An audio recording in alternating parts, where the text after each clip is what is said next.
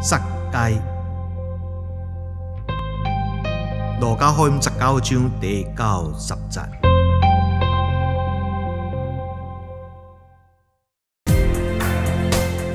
耶稣入去亚利哥，正正对城里经过。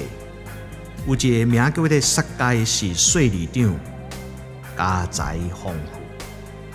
伊嘛想要看耶稣，总是四周的人多，伊的身材矮小，我都看见。伊就走进前，爬上一丛酸菜树伫遐咧看，因为耶稣一定会对遐经过。耶稣行到遐，丫头招呼伊讲：“撒该，紧落来！今仔日我要带领导。”撒该随时就爬落来，足欢喜的就带耶稣去甲因斗。正百姓看见，拢安尼埋怨讲：“因哪会要去一个罪人的厝里做人客啊？”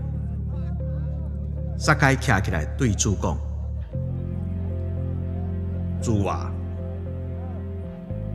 我要将我一半的财产分予善车人，我若欺骗过什么人，我就还死呗。